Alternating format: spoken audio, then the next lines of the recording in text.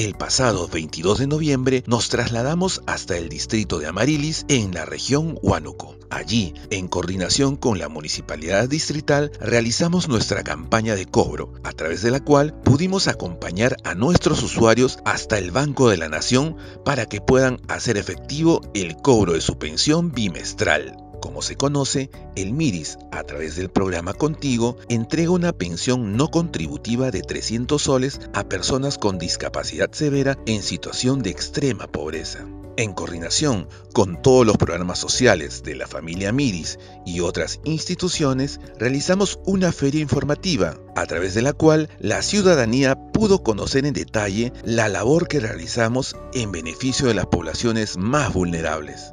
En dicho evento se hicieron presentes diversas autoridades regionales, contando con la presencia del director ejecutivo del programa Contigo. El señores, es una familia que trabaja coordinadamente, que trabaja articuladamente en beneficio o en favor de la auténtica inclusión social del país. Cabe destacar que como parte de esta jornada se realizó una campaña gratuita de salud para todos los asistentes.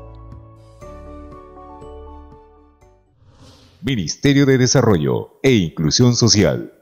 Gobierno del Perú. El Perú primero.